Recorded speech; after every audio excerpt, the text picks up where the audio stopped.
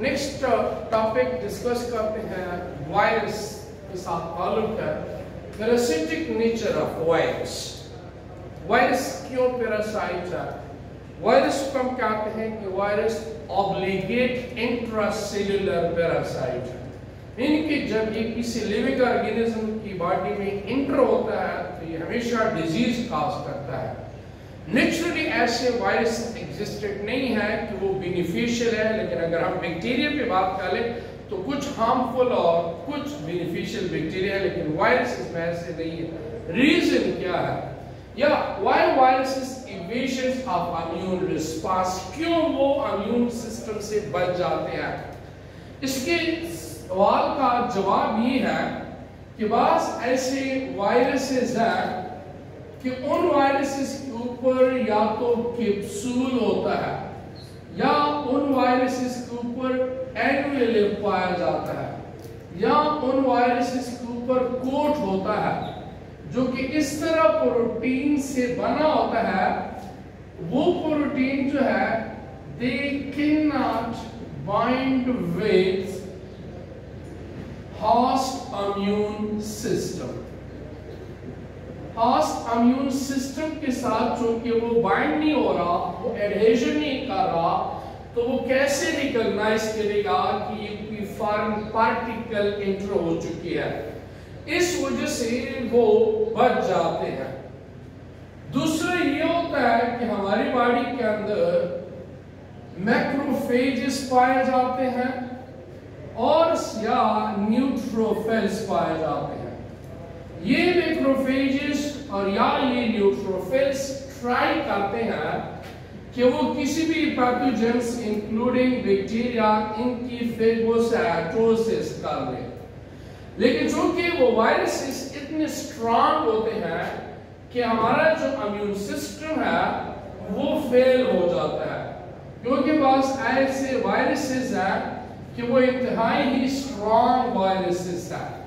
سو ان کی وجہ سے وہ ہماری امیون سسٹم ان کی فیگوسائٹوسس نہیں کر پاتا اور تیسرا وجہ یہ ہے کہ وائرسز جو ہے وہ میوٹنٹ زیادہ بناتی ہے سو میوٹنٹ کی وجہ سے ان کے لیے کوئی خاص قسم کی ویکسین نہیں بنائی جا سکتی اس کی اگینسٹ جو ہے کوئی ہمارے ساتھ میڈیکیشن نہیں ایفیکٹ ہو وجہ کہ یہ اگر آپ ایک ویکسین وائرس کے لیے بنا دیں، کچھ ہی لمحوں بعد یہ ریکمبینیشن کر لیتا ہے اور چینج ہو جاتا ہے۔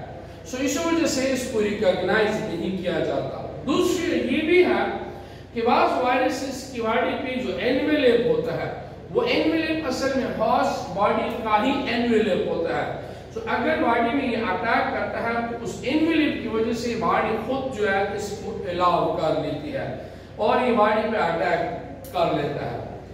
دوسرا ہم ڈسکس کرتے ہیں host virus in the host virus in the host میں ہم یہ ڈسکس کرتے ہیں کہ ایک وائرس ایک ہاسٹ باڈی پہ کیسے اٹیک کرتا ہے۔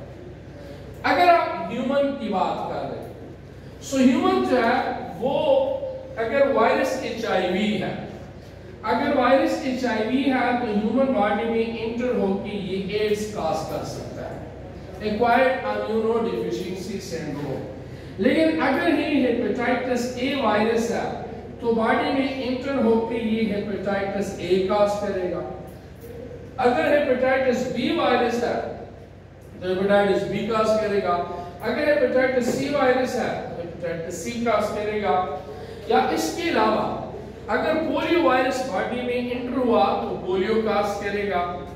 اسی طرح اگر ہم ٹیم وی وائرس کی بات کریں ٹوبیکو موزیک وائرس کی بات کریں تو وہ باڈی میں انٹر پلان باڈی میں انٹر ہو کے وہ اس کی موزیک اینڈ موٹنس کنڈیشن میں کنورٹ کر لیتی ہے۔ تو کہنے کا مطلب یہ ہے کہ کوئی بھی وائرس اگر کسی بھی ہاسٹ باڈی میں انٹر ہوتی ہے تو اس کے اندر یہ انفیکشن یہ ڈیزیز جو ہے وہ پاس کر لیتی ہے۔ سو اب ہم یہاں پہ بیکٹیریا کی بات کر لیتے ہیں، کیونکہ ایون اس وائرس سے کوئی بھی لیونگ آرگنزم نہیں بچ سکتا۔ چاہے وہ انسان ہے یا کوئی دوسرے اینیملز ہے یا کوئی پلانٹ وغیرہ ہے سو وہ بھی جو ہے، اور ایون بیکٹیریا جو ہے وہ بھی ان سے نہیں بچ سکتا، بیکٹیریا پہ بھی اٹیک کر سکتا ہے۔ سو بیکٹیریا کی اگر ہم لائف سائیکل کی بات کر لیں تو بیکٹیریا ہمارے پاس دو ٹائپس کی لائف سائیکل ہے کہ وہاں پہ یہ اپنا آپ کو ریپروڈیوس کیسے کر رہا ہے۔ So life cycle of bacteriophage کی اگر بات ہو جائے life cycle of bacteriophage کی اگر ہم بات کر لیں سو پہلے تو ہمیں پتا ہونا چاہیے کہ what is mean by bacteriophage پہلے کہ یہ bacteriophage اصل میں ایک گریک ورڈ ہے جس میں بیکٹیریو ہم بیکٹیریا کے لیے ٹرم استعمال کرتے ہیں اور فیج ہم کہتے ہیں ایٹر کو۔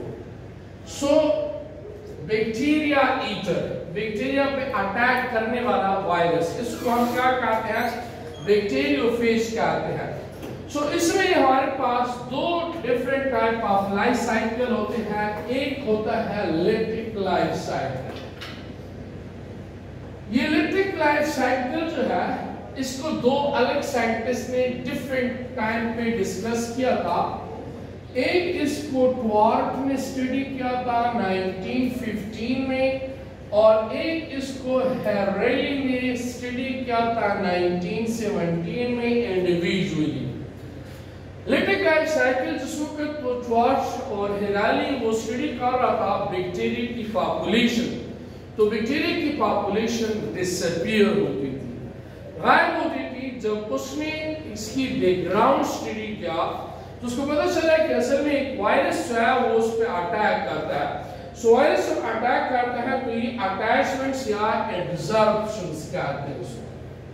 سو سب پہلا جو سٹیپ ہوتا ہے وہ اس میں ہوتا ہے اٹیچمنٹ یا اس کو ایڈزرپشنز کہتے ہیں سو اٹیچمنٹ یا ایڈزرپشنز مینس کہ کوئی بھی وائرس جب وہ کسی خاص باڈی کے ساتھ اٹیچ ہو جاتا ہے تو اس کو اٹیچمنٹ یا ایڈزارپشنز کہتے ہیں پھر اس کے بعد جو ہے وہ پینیٹریشن کر لیتا ہے مینس کہ اس میں انٹر ہو جاتا ہے جب وہ خاص باڈی پہ اٹیک کر لیتا ہے، وہاں پہ انٹر ہو جاتا ہے، تو اس کے امیون سسٹم اس کی جو سسٹم ہے، اس کو وہ کنٹرول میں لے آتا ہے۔ تو اس کے بعد جو ہے، وہ اپنی ریپلیکیشن سٹارٹ کر لیتا ہے۔ ریپلیکیشن کے بعد جو ہے، اب اس کو پھر اسیمبل کر لیتا ہے۔ اور اسیمبل کرنے کے بعد مین کہ وائرسز کا پاپولیشن بالکل اب ریڈی ہو چکی ہے، تیار ہو چکی ہے۔ تو ان میں وہ کیا کر لیتا ہے؟ وہ اس کی لائسس کر لیتا ہے۔ تو ہم کہہ سکتے ہیں کہ یہ ڈیفرنٹ سٹیپس ہیں ڈیفرنٹ سٹیجز ہیں۔ لیٹک لائف سائیکل کے جس کا دوسرا نام ہے master and slave relationship so master and slave relationship جس پولیٹک لائف سائیکل بھی کہتے ہیں، یہ خاص قسم کے وائرسز ہیں۔ پی ون ہوا پی ٹو ہوا یا لیمڈا وائرس ہوا۔ یہ وائرسز جو ہے یہ اس طرح کی لائف سائیکل کاس کرتے ہیں۔ یہ بھی آپ رکھیں کہ 25 منٹ کا ٹائم لگتا ہے اور 200 کاپیز جو ہے وہ بنتی ہیں ایک وائرس کی۔ اب اس طرح کنسیڈر کر لیں کہ یہ ہمارے ساتھ ایک بیکٹیریا ہے۔ اور بیکٹیریا جو ہے، یہ آلریڈی ہمیں پڑھا ہوا ہے کہ بیکٹیریا کا آؤٹر موسٹ جو ہے، اس کا سلوال پایا جاتا ہے۔ یہ سلوال جو ہے، وہ میورین سے بنا ہوتا ہے۔ میورین جو ہے پیپٹیڈو گلائکین سے بنا ہوتا ہے۔ اس کے بعد جو ہے، پھر اس کی سیل ممبرین ہوتی ہے۔ سیل میمبرین کے انسائڈ جو ہے، اس کا سائٹوپلازم ہے۔ سائٹوپلازم کے اندر جو ہے، اس کی اپنی سیونٹی ایس رائبوسومز پائے جاتے ہیں اور ان کی اپنی hereditary material. D N A present ہوتا ہے بیکٹیریا کے اندر اب ایک وائرس ہے بیکٹیریوفیج بیکٹیریوفیج ہم نے پڑھا ہوا ہے کہ یہ 24 to 200 نینومیٹر ہوتا ہے اس میں ایک ہیڈ ہے ایک نک ہے ایک کالر ہے اور ایک ٹیل ہے اور اس کی ٹیل میں ٹیل فائبرز ہوتے ہیں one two six tail fibres ہوتے ہیں اس کی ٹیل کے اندر جو ہے انزائمز ہوتے ہیں ان کو لائسوزائن انزائم کہتے ہیں۔ اس کی ٹیل میں لائسوزائم انزائم پائے جاتے ہیں۔ سو یہ لائسوزائم انزائم پھر یہ ریلیز کر لیتا ہے۔ اور یہاں پہ اس کی ہیڈ میں ڈی این اے پریزنٹ ہوتی ہے۔ کیونکہ بیکٹیریوفیج وہ وائرس جو بیکٹیریا پہ کرتے ہیں، ان میں ہیریڈیٹری بیکٹیریا جو ہے وہ ڈی این اے ہوتا ہے۔ سٹیپ نمبر فرسٹ یہاں پہ ہم نے ڈسکس کر لیا اٹیچمنٹ روم کی۔